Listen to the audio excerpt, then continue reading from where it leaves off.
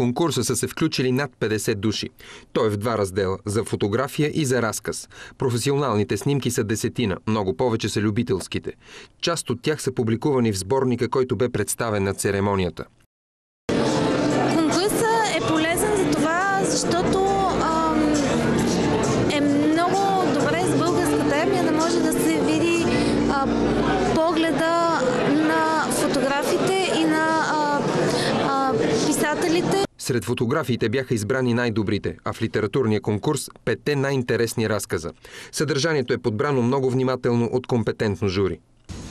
Много се радвам, че тие, които бяхме в тази комисия, това жури, както го наречем, наречем с тази чужда дума, всички бяхме съвестни хора и добронамерени. Най-лесно беше всеки да си въобразява, че еди кой си и да гледа с пълно пренебрежение или с леко пренебрежение онова, което му се предлага. Аз за себе си гарантирам, гарантирам и за моите колеги и приятели, че ние се отнесахме към задачата съвсем сериозно. Ами, не беше лесно.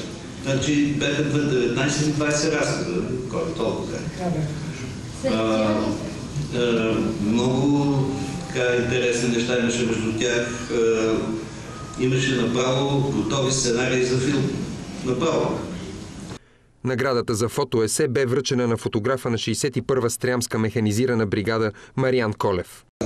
Хобито ми е фотография и обичам да снимам и така да се каже отразявам цялостния живот на бригадата. А, мисля, че ще продължа с тази си дейност и съм много благодарен, че все пак по някакъв начин бях оценен. Благодаря.